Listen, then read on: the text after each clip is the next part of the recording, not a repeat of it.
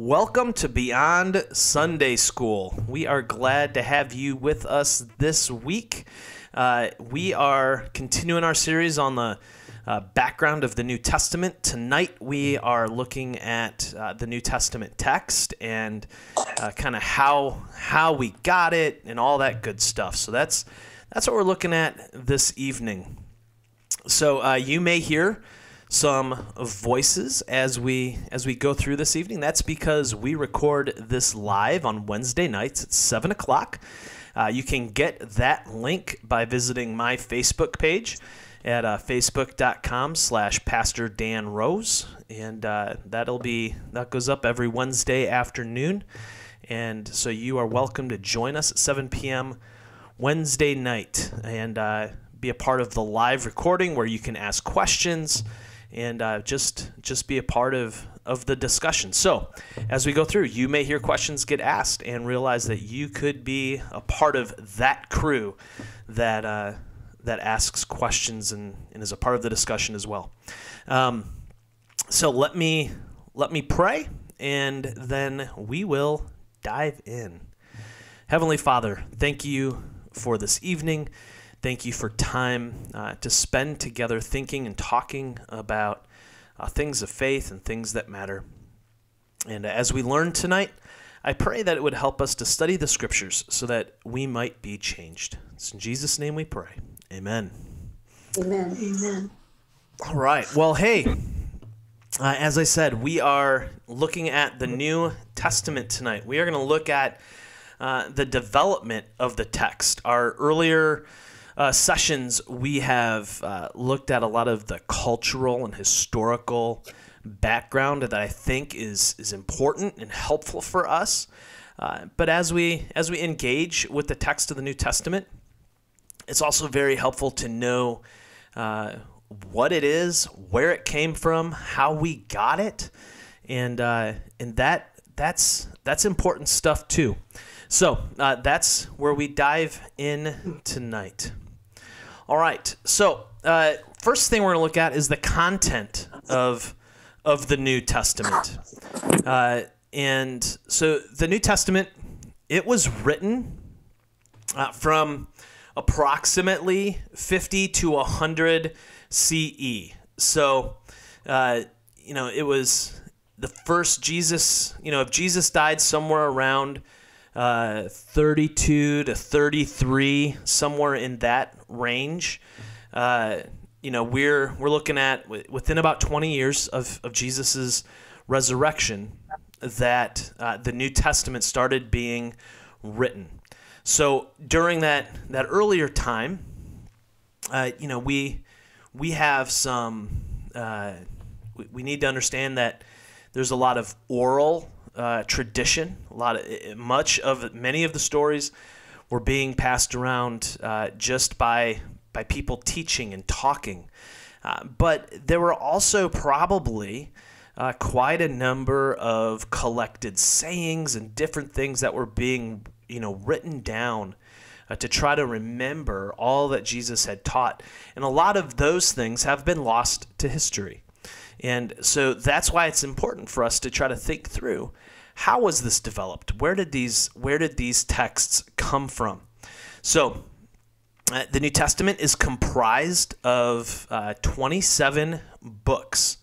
Now, these aren't books in the sense that uh, that we think of books, right? When we think of books, we think of you know 100 200 300 400 500 pages with multiple chapters and those kinds of things the books of the new testament uh, most most of which are uh, what we would call epistles or letters, and uh, we'll get into how those break down here in just a moment.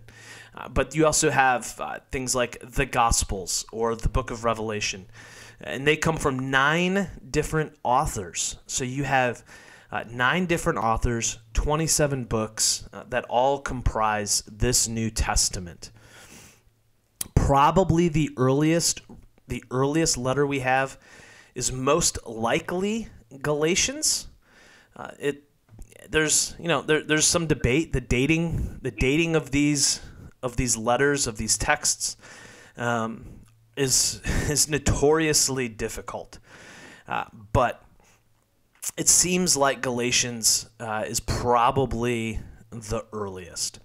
Uh, the latest New Testament text is likely Revelation, and uh, you know we we are we're more confident in that date uh, than we are with uh, the earlier stuff. So trying to figure all of that out uh, is just it's just tricky, and that's why there's always going to be a lot of a lot of ink spilled on dating. And and why do we spe- spill spill ink on dating?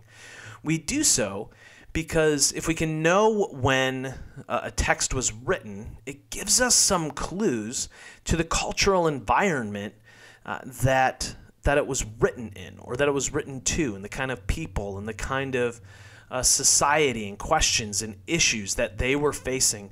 Uh, and we can draw that information out from extra biblical sources. And, and all of that helps us to interpret the New Testament because you know, the reality is we can't sit down with Paul of Tarsus and say, hey, Paul, what did you mean by this? Like, we, we can't do that. So, the work of interpreting the text, applying the text, uh, is there's there's a lot of art uh, to that process, and that and that process of interpreting the text has changed over time.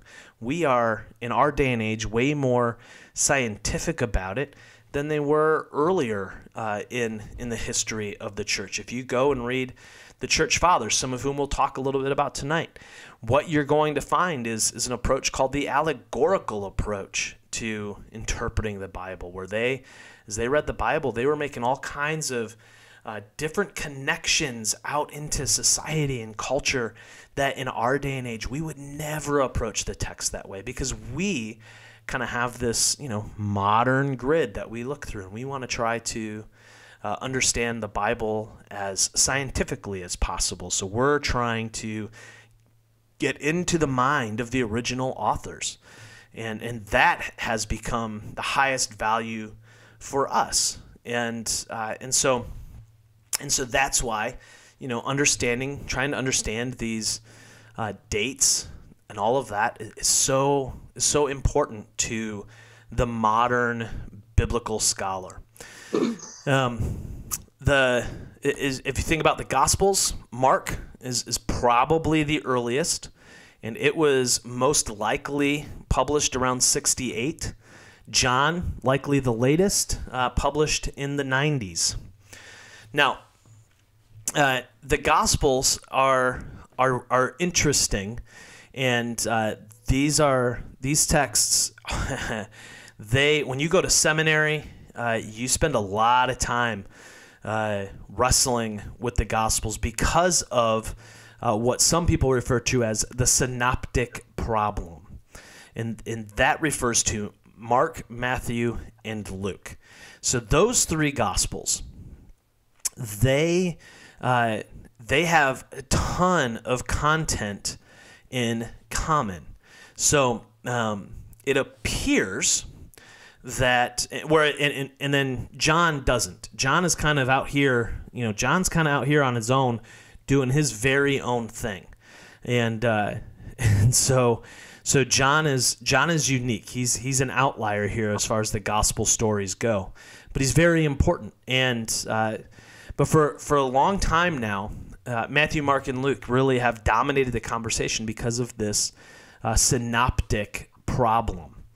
Uh, and, and so what you have uh, is probably Matthew and Luke using Mark and uh, something in, in, a document that's been lost to history called Q.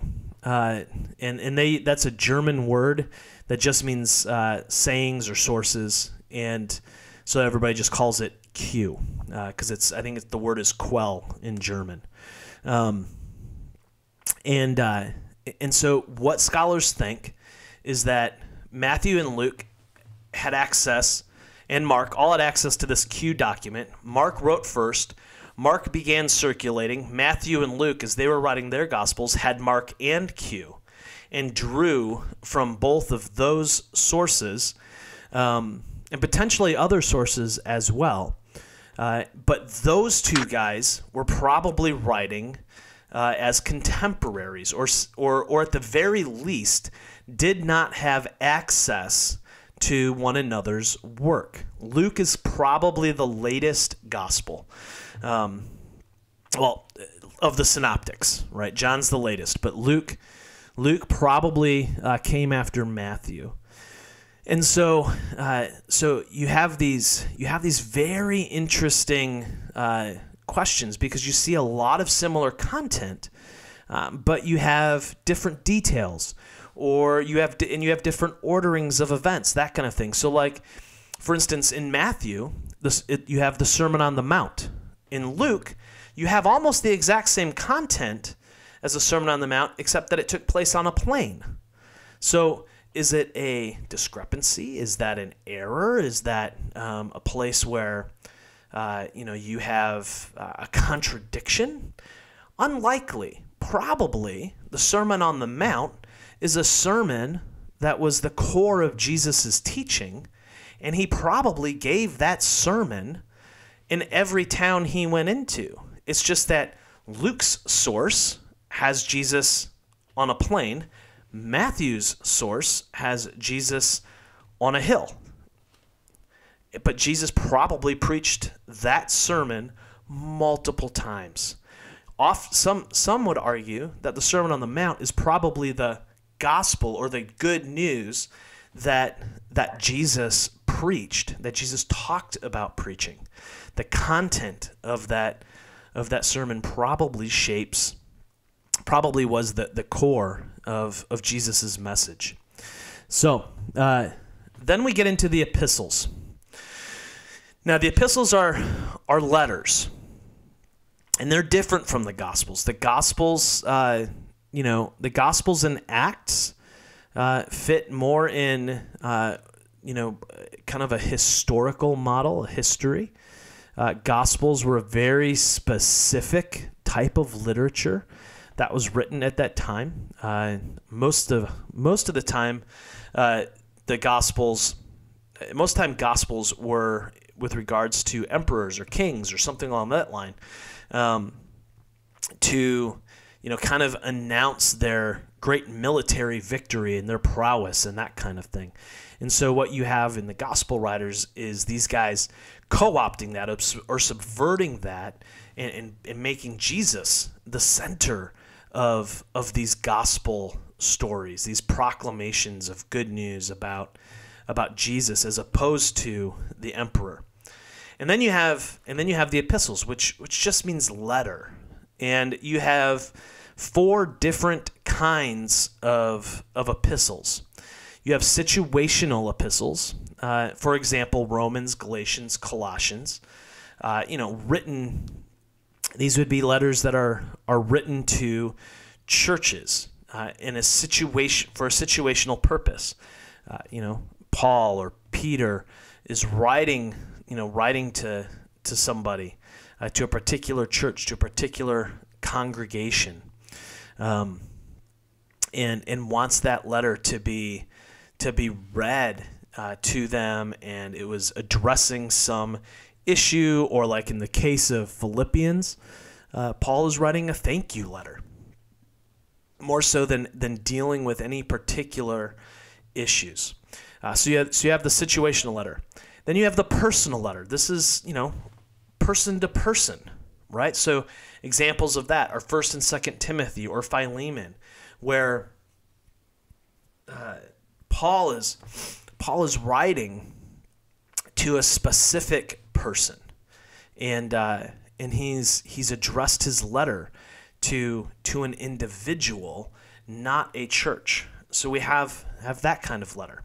Then you have what are known as the Catholic letters, or the in Catholic here just means universal.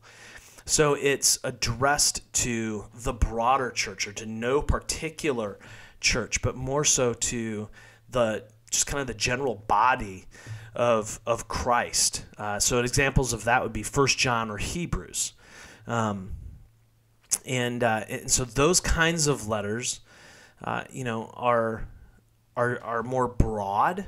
They're not dealing necessarily with specific issues, uh, but they're but they're a, a broad based letter to to try to uh, teach or shape or form identity of of the broader church.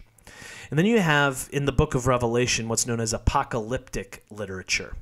So the the, the book of Revelation uh, is doing something a little bit different than the other letters, and it's it probably fits closer to maybe uh, what we would think of uh, as some of uh, some of the different prophets, right? As we think maybe of Ezekiel or Daniel, those those kinds of, of prophets who are um, unveiling the now, but also the future, and uh, and so there's there's kind of kind of some of that going on. So so the apocalypse or the unveiling uh, is is the book of Revelation, and it's and it's a very unique uh, piece of literature in the New Testament uh, because it's it's just it is chocked full of imagery and metaphor and and so many generations have uh, gotten goofy and sideways reading the book of Revelation and trying to make it some literal historical uh, future telling thing. Um, whereas uh, it, it's probably best uh, understood uh, as primarily metaphor and imagery and illustration, dry, dealing with some very pressing uh, present issues that the church was facing uh, at the time, but also looking toward the future, but not in a not in a future telling kind of way. Um, isn't it interesting though that in Revelation it says that's the only book that have a ble- that gives you a blessing if you study mm-hmm. at the beginning. I that's think right. that's quite interesting. Yeah. Yeah, it is. It is very interesting, and it's and it just and it just goes to show, right, that uh, even the even the texts that are difficult are you know are worth they're worth studying. They're worth putting some effort into. Revelation at the top of that list uh, because I think you know, Dorothy, to your point, I, I think when when rightly understood, um, the blessing from the Book of Revelation is so wonderful because it it reminds us that uh, of how deeply God cares for us and how He provides for us and uh, how how He meets us even in some of our hardest and darkest hours. And so, uh, the Book of Revelation, uh, you know, John was John John's saying it's a blessing to read it and study it. Uh, he is he is right on the money, but boy, is it hard. yes, we don't have to agree, but we can each study it in our own way. You know. That's right. That's right. Uh, was, yeah. No, go ahead. I remember my dad and uh, Janet's grandpa and some of the other ones in our living room. They used to discuss it. They didn't all agree, but they were uh, agreeable about it. And I remember them discussing it over and over and over. Yeah, that's a great line. They didn't always agree, but they were agreeable, which is, uh-huh. boy, we've lost that in our society a little bit, haven't we? Yes. Sure. Oh, so uh, moving moving forward here uh, as we as we keep driving on, uh, we're going to look here at the beginnings of the New Testament, the beginnings of the um, of this text beginning to be recognized uh, as as scripture, right? So, um, I'm not sure what is going on here. Who's that? I don't know. There we go. No.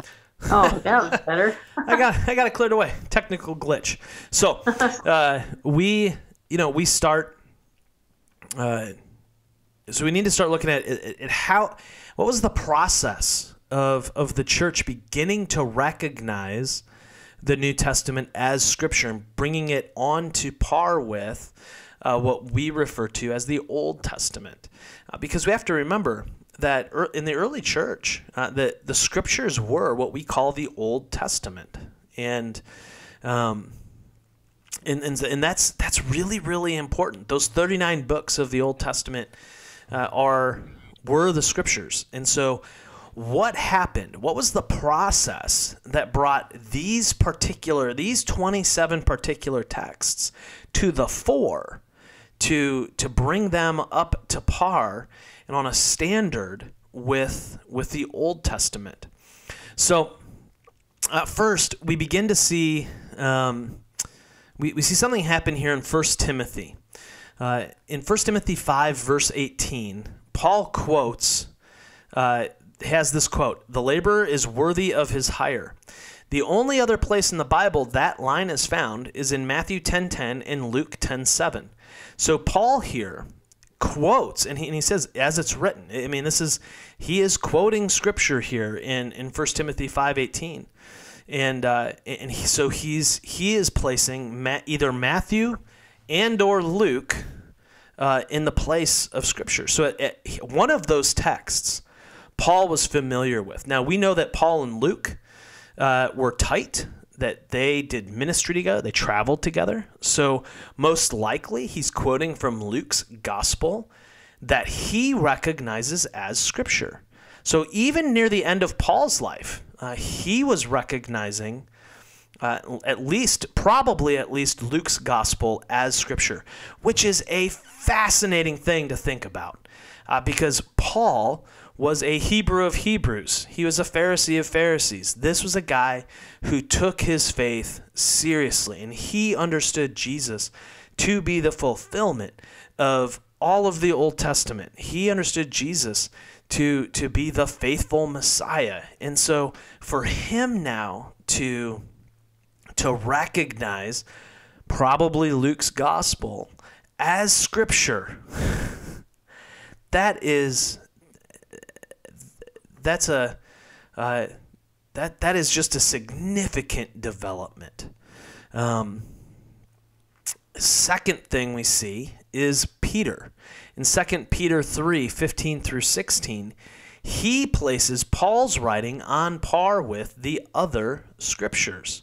So, Peter, near the end of his life, is accepting, he is accepting Paul's writings as, uh, as scripture.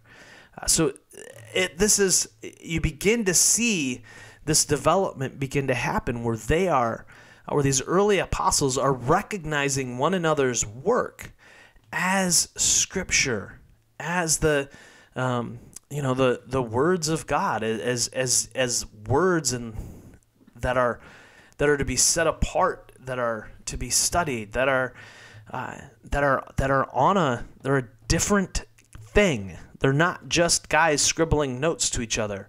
They are beginning to recognize one another's labor as as something akin to the Old Testament scriptures uh, which is which is profound.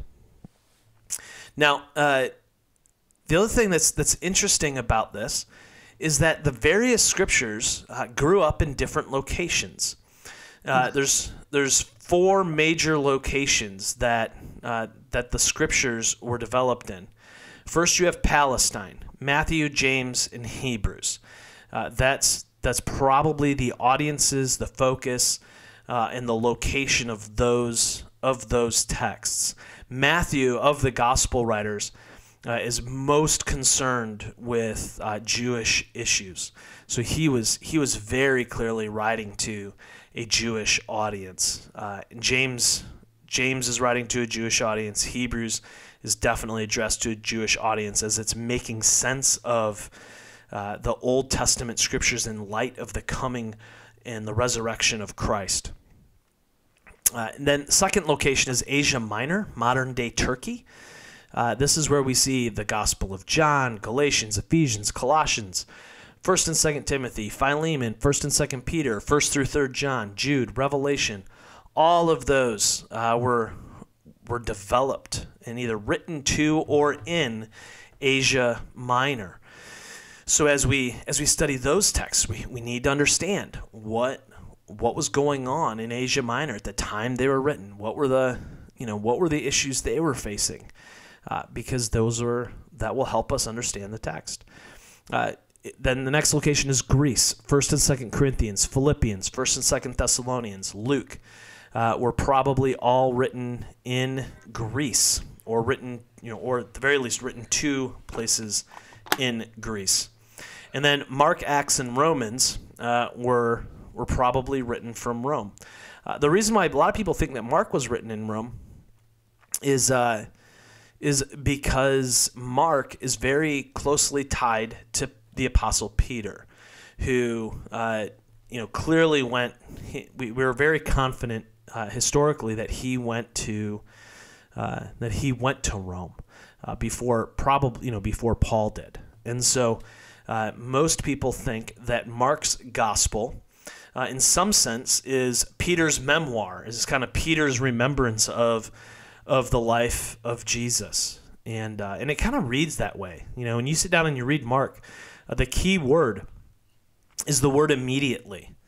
Uh, over and over and over again, uh, that word shows up. Jesus is constantly on the move, constantly moving. It reads like a travel log. You can almost picture in your head, you know, Mark sitting down with with Peter and kind of knowing a little bit about his personality from the Gospels. Uh, you you know this kind of hyper guy, you know, recounting. Uh, you know the tales of, of walking and living with Jesus, uh, may, potentially near the end of his life. So, uh, so that's that's that's kind of the the locations. Uh, so, so now what about early testimony? Right, we have writings of of early church fathers, and uh, these are guys who were who were we would consider to be second generation Christians, but they are writing while the first generation was still alive or near you know or, or, or near the end of their lives. So because you know every generation overlaps with the previous, right? And so these were these were second generation Christians in that kind of second tier out from the earliest church, you know, from the um, from the Pentecostal church, uh, that and not Pentecostal in the sense of our modern day denomination, but Pentecostal church in the sense of the church that was formed on Pentecost. So uh, you have uh, you have Clement of Rome, uh, and his and he wrote uh, at approximately around ninety five, uh, and in his epistle to the Corinthians he quotes from Matthew, Luke, Romans, Corinthians, Hebrews, 1 Timothy, and 1 Peter. So by 95, all those texts were were circulating and they were present in Rome and they were understood to be authoritative. So by 95, you have these guys, these texts being being considered authoritative. Polycarp uh, in his letter to the Philippians at around 110, he quotes from Philippians and nine other Pauline sources in 1 Peter. Ignatius, in his seven letters at around again around 110, he quotes from Matthew, 1 Peter, 1 John, and nine of Paul's epistles. I mean, this to think that these guys are writing as pastors, as bishops, to people, to churches and they are already already by a hunt by 95 110 they are they have they have Im, they have given these texts authority and they write and they use them uh, as as authoritative texts because really that's what separates the bible from other stuff that's written we understand it to have authority and and so by 110, you see this happening. Papias, John's disciple, right? Um, uh, in his he, he wrote a he wrote a text called an explanation of the Lord's discourses. So this is this is one of the earliest commentaries. And as John's disciple, who does he quote the most? John. so he's he's working he's working with John's text, you know, his John's gospel. Um, but he also gives insights into the origins of Matthew and Mark. Uh, then you have this other text floating around. It's called the Didache, and uh, and that we don't exactly know when it was published. Uh, somewhere between 80 and 100, 80 and 120. Uh, but in in this text, you have 22 quotations from Matthew. You have references to Luke, John, Acts, Romans, Thessalonians, 1 Peter. It's the first place where the gospel is is uh, is stated as a written document. So somewhere, somewhere in those 40 years, you know, you have you have again this sense of authority from these texts, but also they are being recognized now as documents that are the documents of the church. There was another document, again, we don't exactly know when it was published, somewhere between 90 and 120, called the Epistle of Barnabas. It quotes Matthew, John, Acts, Second Peter, and when it and when it introduces those quotes, it uses the expression "it is written," which is the expression that is used by Jesus, by Paul, by uh, you know, by the Bible to refer to the scriptures. That's not just a throwaway phrase. So, again, here we are, early, early second century, um, where the scriptures are are given this authority and power. Tatian, uh, an, an early an early writer in 160, he creates a harmony of the four gospels, uh, which which is significant, right? So by 160, you have Christian scholars looking at these four gospels and saying, okay, we have four th- we have these four written histories of Jesus. They're all a little bit different. We need to harmonize them. We need to figure out how do these things fit together. That in and of itself is is pretty amazing. Uh, what is even more uh, interesting is that there was only four. By 160, it was the identification of these four gospels as the authoritative texts on the life of Jesus uh, is is really really important. There were some other uh, there were some other texts floating around, uh, but these were the four that were considered to be uh, the authoritative texts. Justin Martyr, the first apologist, he writes in 140 CE, and in his and in his apologies or his defense of the faith, he mentions Revelation, he refers to Acts, and he refers to eight epistles. Uh, the way I love this, he, he refers to the Gospels as the memoirs of the apostles, which I think is pretty cool, honestly. Um, and uh, and he says that they were read in the church assembly alternately with the prophets. So, you know, again, here we are by 140 in Christian worship. The Gospels are equal with the Old Testament prophets as authoritative as scriptural. Uh, and at the same time, uh, you have uh, a guy named Marcion, uh, who is a heretic.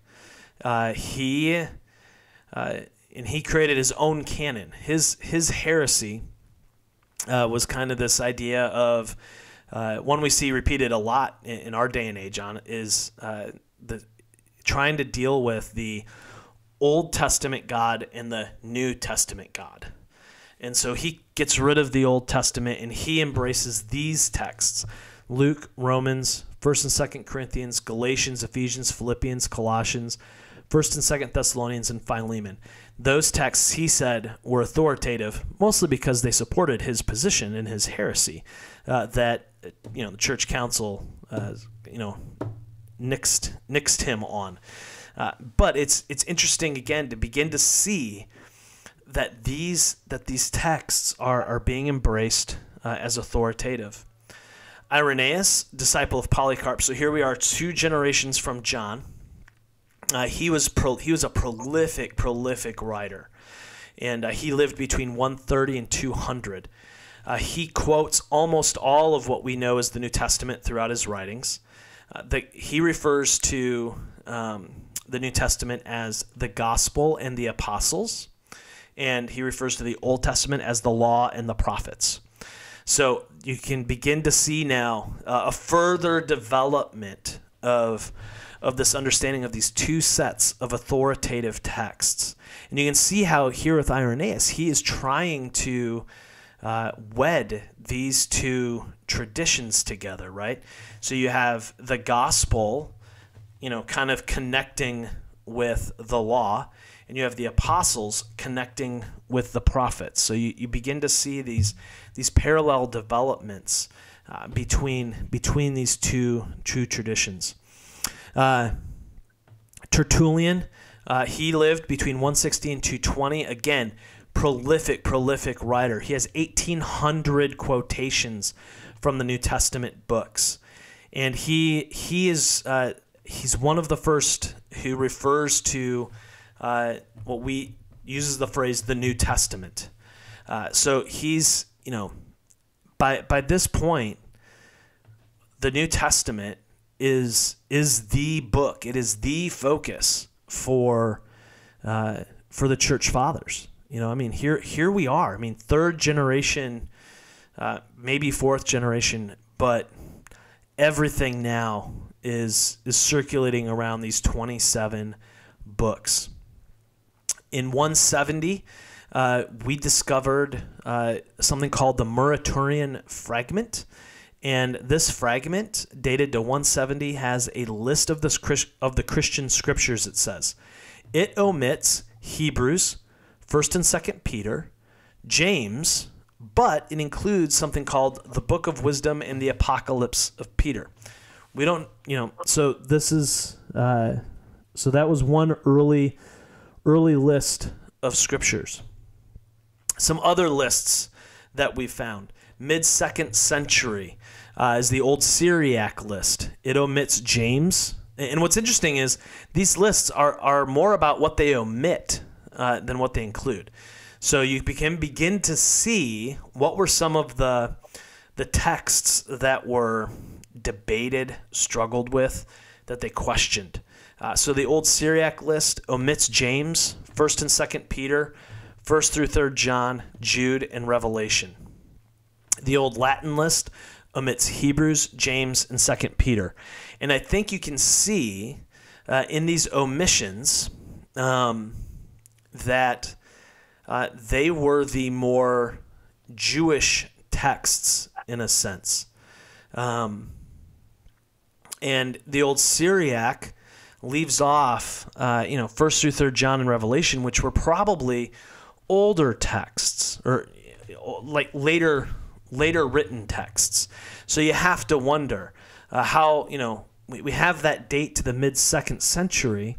You know, was it just that first through third John and Revelation weren't circulating uh, in that area? What's what's happening there? But but you see pretty consistently Hebrews, James, Second Peter uh, were were things that that folks struggled with uh, because they were they are they're most Hebrew, uh, the most Jewish of the New Testament texts. Origen, uh, who is considered to kind of be the the first true Christian academic. Uh, Two thirds of the entire New Testament can be found in his writing. So if you have Origen's writing, you can you can put together two thirds of the New Testament. So he, talk about quoting, um, and he recognized twenty the same twenty seven books we have, uh, but he had his doubts about James, Second Peter, second and third John. Um, mm. So, you know, it's it, it, he didn't he didn't exclude them. He just had doubts about them, and uh, and and we will see that we will see that theme. The big turning point happens uh, after Constantine arrives on the scene with a guy named Eusebius. Eusebius is the first. Uh, his, he's the first Christian historian. He he wrote uh, the first church history. Uh, he's appointed by Constantine as his religious advisor, and uh, and so one of the things that Constantine desperately wanted, he wanted peace and unity in his empire.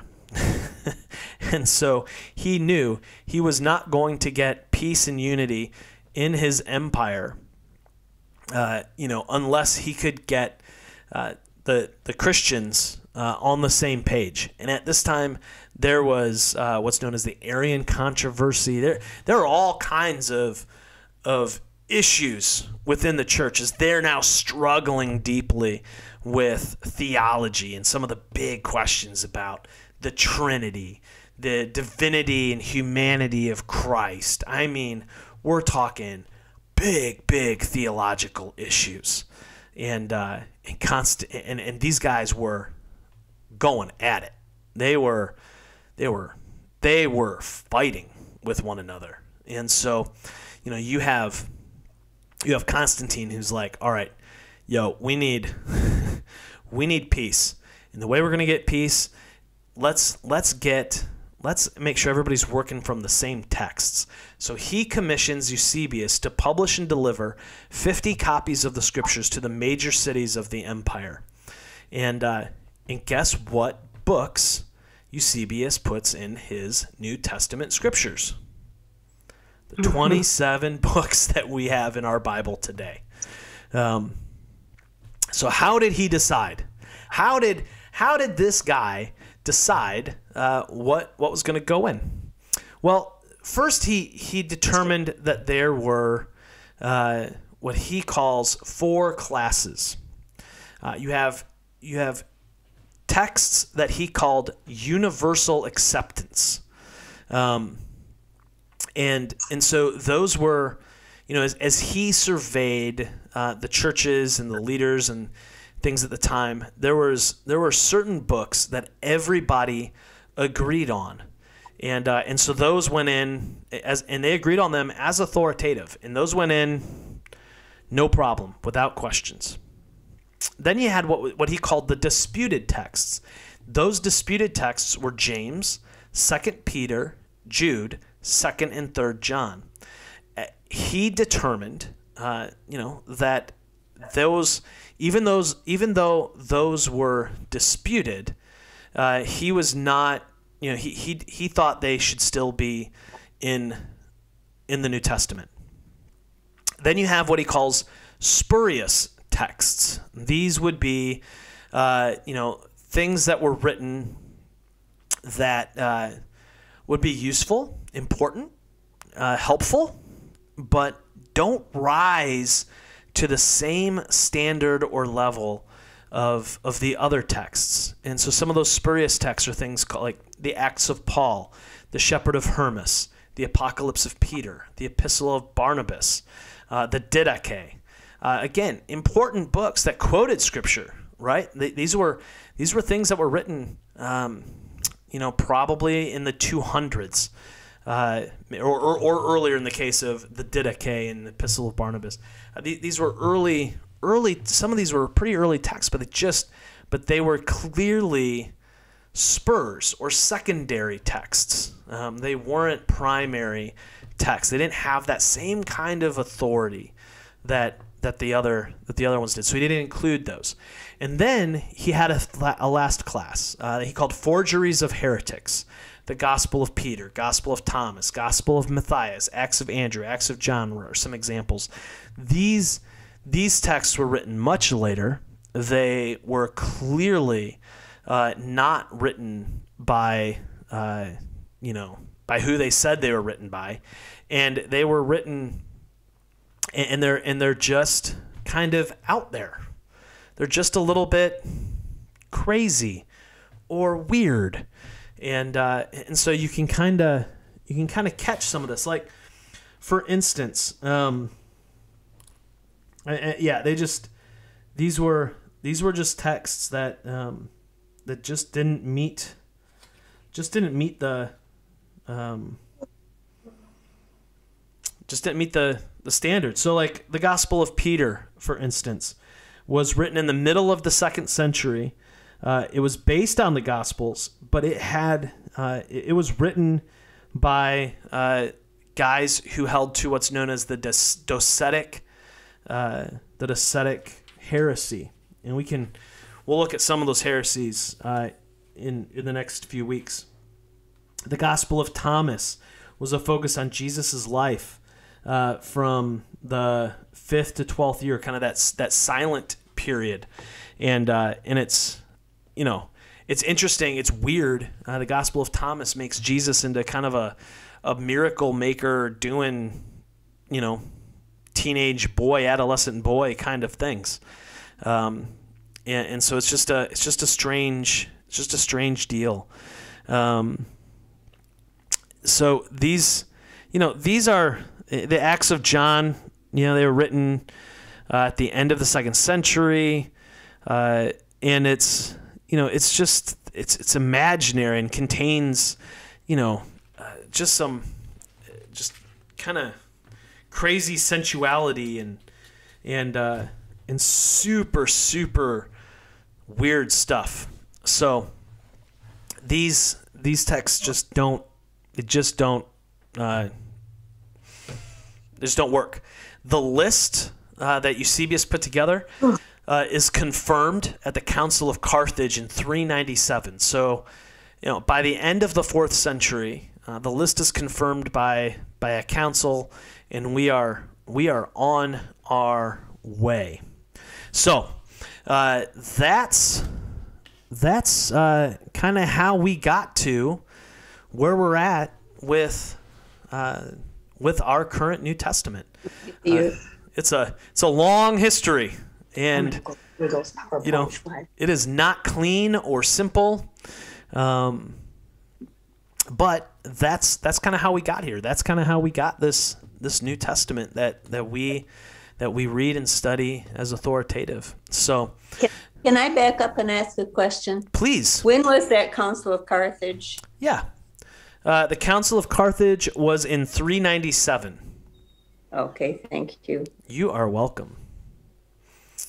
And what's what's interesting is, uh, you know, you had other church fathers like Athanasius, um, uh, who had his list, uh, which was again very similar uh, to to Eusebius's, um, and uh, there are some there are some differences, but but by and large, these lists were so consistent across the church uh, globally that it that the church the churches by and large had already given authority to these texts. And um, and so it just took time for them to be codified and to be canonized.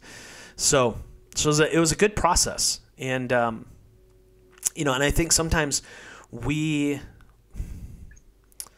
I think sometimes we want to almost um, belittle the process, thinking that it needed to be some sort of crazy, miraculous kind of thing. Uh, but it doesn't have to be that way. I, I think as we understand the process of how we got the canon and how they, you know, decided that these texts don't add up and those, you know, that they don't fit.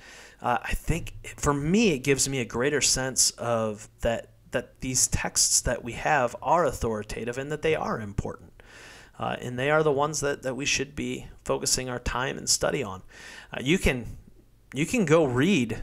I can I can if you ever want I can provide you a list of those um, you know the, the forgeries of heretics, and you can you can go check them out and you can go read them for yourself. And I think I think anyone who is honest is, is that is intellectually honest with themselves sees the difference. I, I don't you know, there's there's been this huge rise in popularity of the Gospel of Thomas because of the Da Vinci Code. But I think when you sit down and read the Gospel of Thomas, you see something that just is it's it is just not the same as Matthew, Mark, Luke, and John.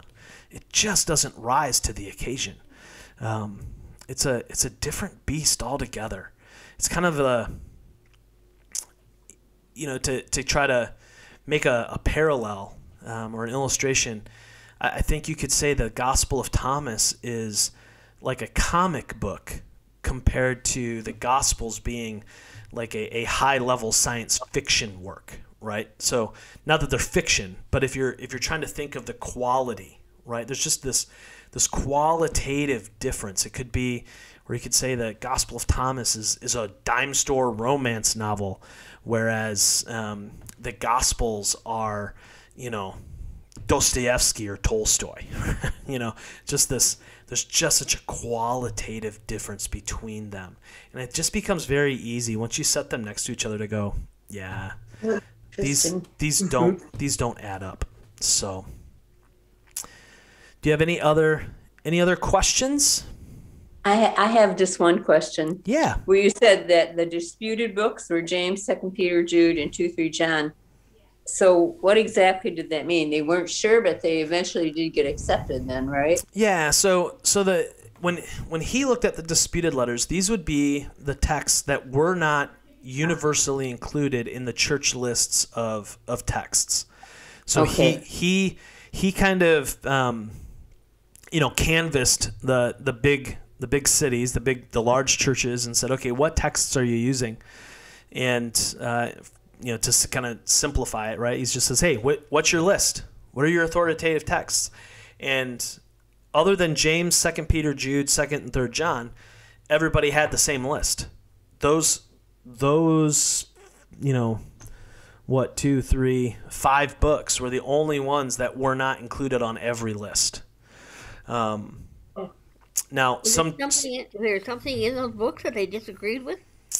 Yeah, I mean the I mean shoot, even Martin Luther I mean Martin Luther he he he didn't think James should be in the Bible. Well, I knew that. you know um, Yeah. and a lot of it is because uh, they're very one they're very jewish um, and so you know you're getting you're starting to get uh, this anti-semitic strain beginning to run through uh, christianity uh, beginning to develop um, and uh, i mean in second and third john they're short they're very very short and uh, and they're very personal.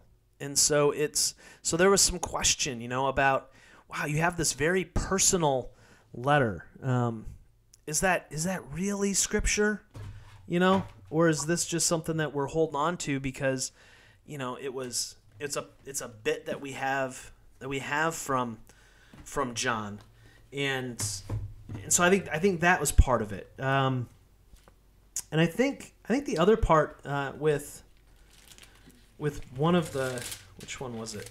Um, yeah, and I, and I think the problem with uh, with Second John is that uh, it's it's a letter from John to a woman. So, uh, you know, I, I think I think that that was problematic to to some of those churches as they began to seek to establish a greater sense of a patriarchy um, that was largely absent from from quite a bit of the early church. So, uh, and Jude, Jude is super weird. Uh, I mean, you read through Jude and you get you get some crazy stuff, right? So, Well, was Jude Jesus' brother? James was, but I couldn't remember. Was Jude a brother of Jesus? I believe I believe he I believe he was. I, I, I don't know for sure. I just wondered. Yeah, Uh, I, I, I think I heard it. I think that's right. Um, but I off sadly off the top of my head, I'm not entirely 100 percent sure, but I, I think so. So I just wondered why they would deny the brother of Jesus. You know, that's kind of Yep. strange.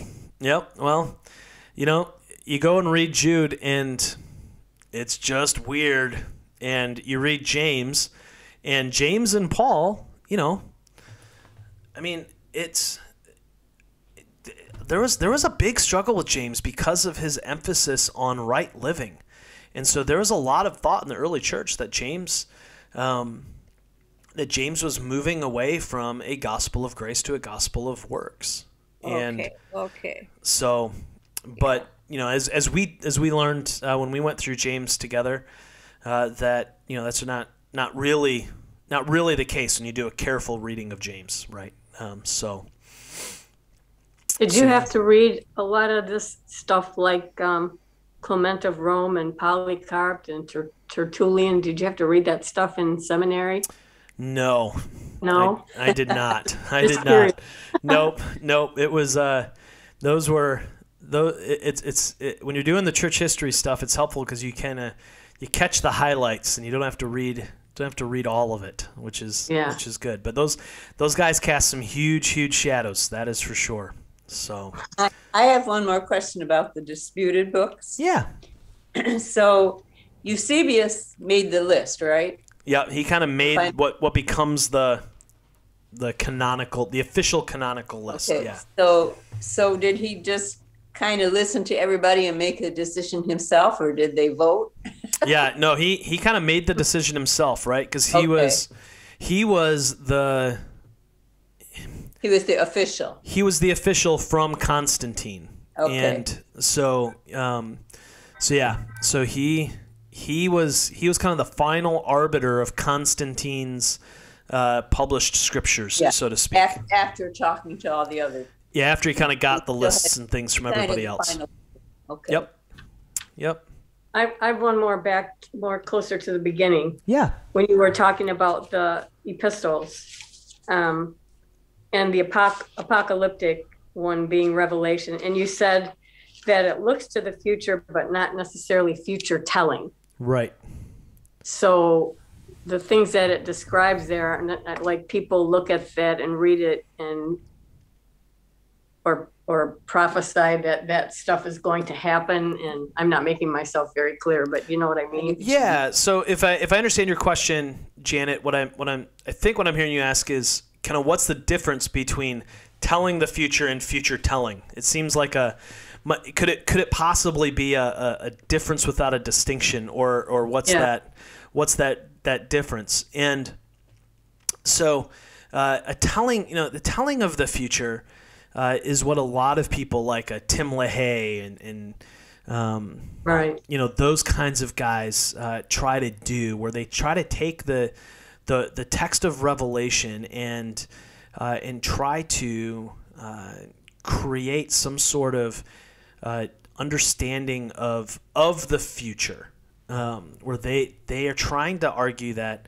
that revelation is telling about very specific future events. And so they try to take um, you know histor you know contemporary time and contemporary events and say well see this was this was revelation prophesying or telling the future and now we're seeing it come to play. The problem is that throughout history um, there's there's been movements all, all the way through where, where people have done that with revelation you can Yeah. look at almost every era and say, well, see, this person and that thing fits this. Well, but that's not.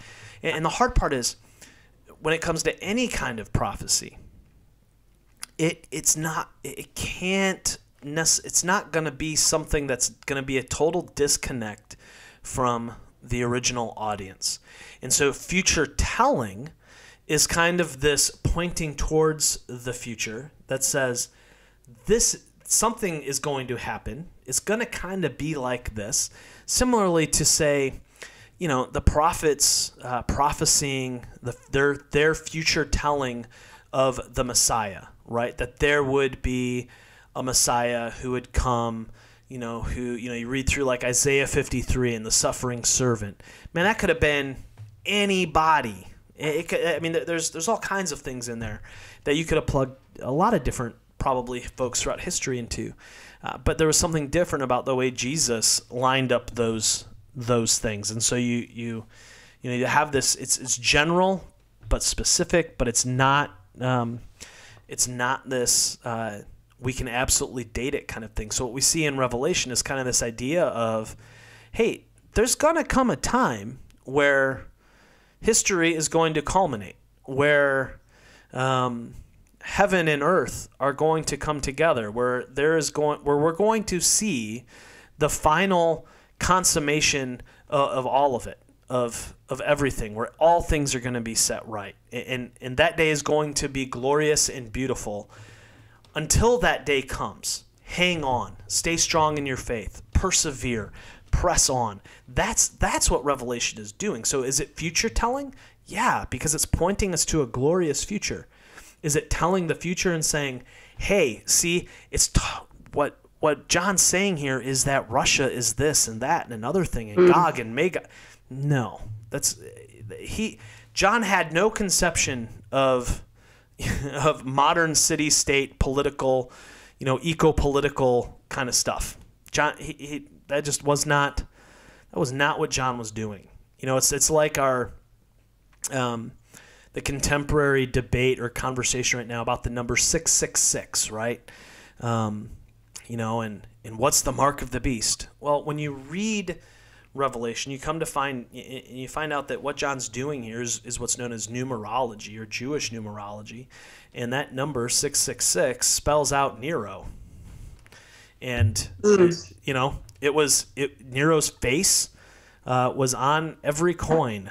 You couldn't buy or sell things without Nero's face, without the mark of the beast, without the mark of Nero. It didn't. It didn't have anything to do with um, vaccines or anything along those lines. You know, but but that requires us to understand what John's doing in the Book of Revelation and understanding what kind of literature the Book of Revelation is. That it's an apocalypse, and he even says that. Um, and he places it in that particular genre, which must drive and determine our you know our study of it um, in our in our seeking to understand it. We have to understand it as kind of being this this veiled letter where we need to do some work to try to understand what are the images and metaphors that would have made sense to the people to whom he's writing um, to those seven churches. And as that letter goes it gets more and more metaphorical, it gets more and more image based, it gets less and less specific, right? That's why those early chapters, uh, specifically the seven, the letters to the seven churches, uh, really are the important. They're, they're super important into understanding what's going on in the rest of of that text, um, because it just gets it just gets deeper and deeper and deeper. So um, yeah. So yeah. Does that make sense? Yeah, I think so. Okay. Mm-hmm. Okay. Yeah, and I think people really they try to fit everything in nice little packages. Yeah. I guess because it makes them feel better. I don't know. yeah, I mean, it's you know we we want we want everything to quote unquote make sense, right? Right, and we want to take things and make them simpler um, so that we can control it. so, you know, if if we really you know, if we really believe that God is the divine creator and we are the creatures, then we are never going to fully and totally comprehend God. And there are going to be aspects of God that will always be mystery to us. And that is going to be true of the text. You know, there are just there are just mysteries in it. And we're never going to fully understand we're never going to fully understand it. Can we can we truly know something and not fully understand or comprehend something? And the answer is yes, right? Like I truly know my wife. Do I fully comprehend her? No. Man, it would be boring if I did.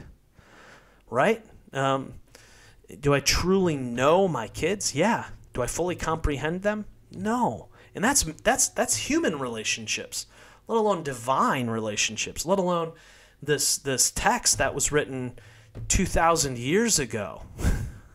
that was rooted in an oral tradition. Um, uh, you know, there's we're, we're never gonna we're never going to fully totally 100% comprehend this that's why we get to keep studying it and keep learning it and, and we can we can go back to this text and have it hit us in new and fresh ways um, which i think is why the writer of hebrews says that scripture is living and active and sharper than any double-edged sword um, so so yeah mm. Well, um, thanks for thanks for listening. Thanks for being a part of this week's uh, conversation. I want to remind everybody uh, who's watching this or listening to this later, uh, you can be a part of a live recording Wednesday nights, 7 p.m. Eastern, and uh, uh, you can get the Zoom link from my Facebook page at facebook.com/slash Pastor Dan Rose. I post that Wednesday afternoons. And uh, otherwise, you can reach out to me on any of the social networks and I can get you this link privately. Uh, but we would love to have you be a part of it so you too can ask questions, be a part of the discussion.